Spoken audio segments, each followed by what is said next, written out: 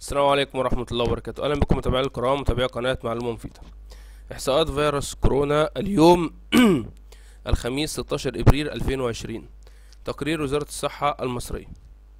الحالات التي ظهرت جديدة 168 إصابة جديدة.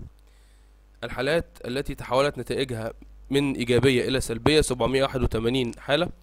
والوفيات اليوم 13 وفاة. 13 حالة وفاة.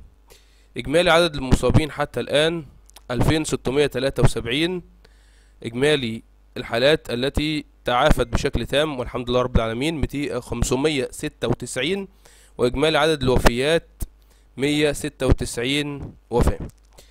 قرأ عليكم هذا البيان محمد نور الدين من قناة معلومة مفيدة. نقلا عن وزارة الصحة المصرية آه، وزارة الصحة المصرية والسكان. نراكم في فيديو آخر بإذن الله تعالى. اشترك في القناة وفعل زر الجرس وعمل لايك الفيديو والسلام عليكم ورحمة الله وبركاته.